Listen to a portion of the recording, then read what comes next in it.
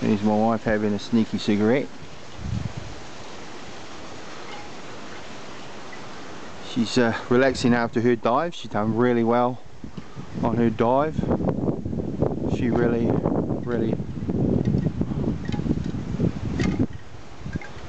really was the star of the show today. She was diving even better than me. Not that I'm a good diver, but I'm pretty okay. We're going to go for a cruise around the island tomorrow, a three hour boat trip, stopping off island hopping, doing a bit of snorkeling across some reef, and we're going to stop off at a uh, place where they sell uh, a beach on the other side of the island, a remote place where they sell pearls and uh, rare stones, stones that only come from this area. You can't find them anywhere else on the planet. Real beautiful stones they are. They shine, they polish them up, make necklaces out of them.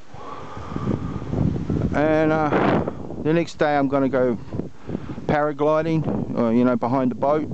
I'm going to do it in the sunset. They reckon it's the best time. And yeah, that's my my days for the next couple of days.